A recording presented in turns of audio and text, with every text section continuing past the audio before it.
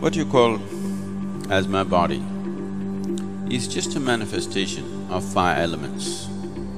Earth, water, fire, air and space. If you know how to organize these five elements properly, if you know how to keep these five elements within yourself, then there is nothing more to life in terms of health, well-being, perception, knowing, everything, enlightenment. Everything is handled if only you know how to keep these five elements properly. The most fundamental practice in the yogic system, which is the basis of everything else that we are doing, is called as Bhuta Shuddhi. Bhuta Shuddhi means, you know, Bhuta means Panchabhutas or the five elements. Shuddhi means to cleanse that. If you learn to cleanse the five elements in the system, that's all there is. All other yogic practices are an extract from the five, from the Panchabhuta system of yoga.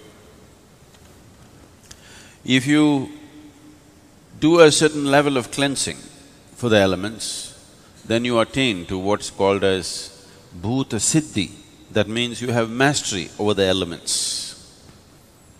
If you have mastery over the elements, you not only have mastery over the body, over the mind, over the very creation. Seventy-two percent of your water, body is water. If this seventy-two percent of water in your body become sweet, it would be… you would be quite a wonderful person, isn't it? Yes. Another twelve percent is earth. If you make that sweet, eighty-four percent, very good percentage, isn't it? Another six percent is air. That's easy, because we can control the air and create various situations. Yogic practices are there to make the air behave in a sensible way within you, ninety percent. Another four percent is fire. You can keep the fire as it is because after all you live in a society, huh?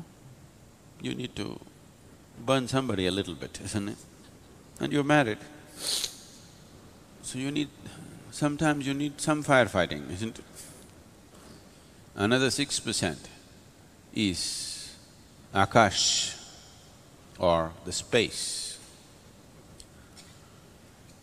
Today once again, phenomenal amount of research has gone into what is Akash.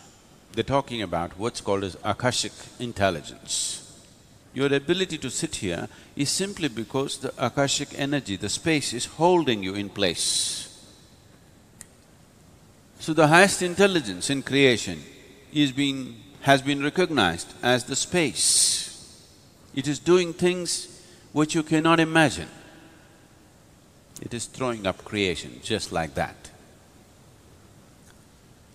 So there is a way to treat it within you and outside of you.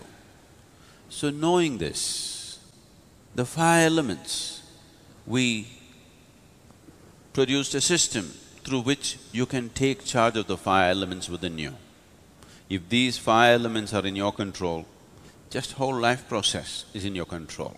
The very process of birth, living and death is one hundred percent in your control if you take these five elements into your charge. A simple process like this can change the fundamentals of one's life if you give yourself totally to it.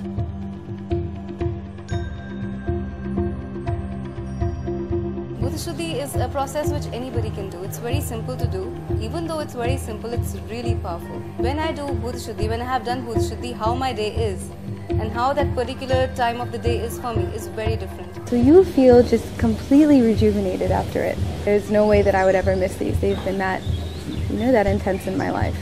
One thing I can clearly tell while I'm doing the process is a very uh, powerful purification that happens. I feel a rush of energy going inside me. The first time I did Bhuta Shuddhi, uh, in such a subtle way, the atmosphere was completely different. This purificatory process helps one to achieve a state of harmony and balance, which prepares the body for higher levels of sadhana, enhances the capabilities of the physical body, mind, and energy, creates the basis to gain complete mastery over the human system